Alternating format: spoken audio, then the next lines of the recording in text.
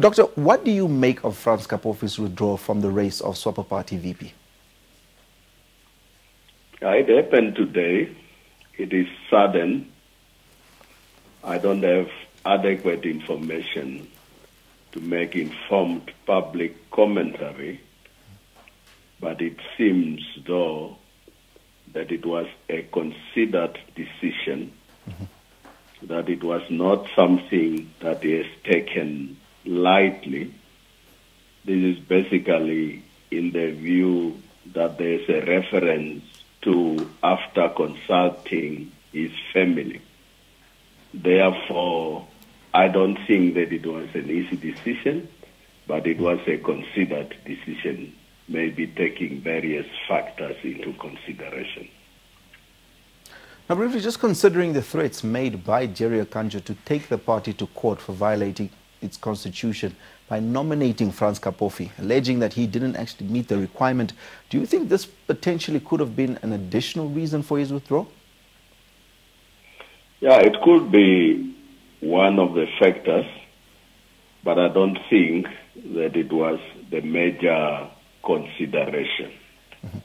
I'm saying it could be one of the factors because there have been public views and opinions that the party constitutional provisions might not have been strictly adhered to.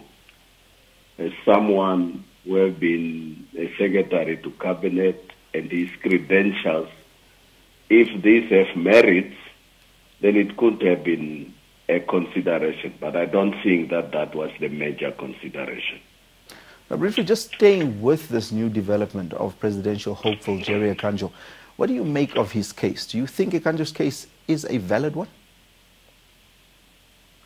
Yeah, he, he might have a, a case, but obviously my colleagues who are lawyers always tells me mm-hmm. that the burden of proof is on the one who alleges.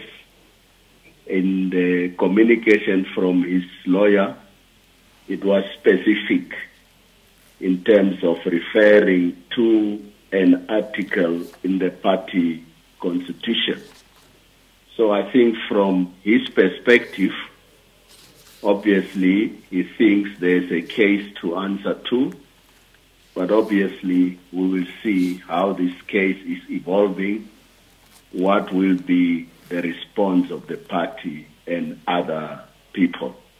So I'm saying there was a specific article that he referred to that he thinks it was violated. Mm-hmm. So it's actually safe to have a wait and see approach and see how the case will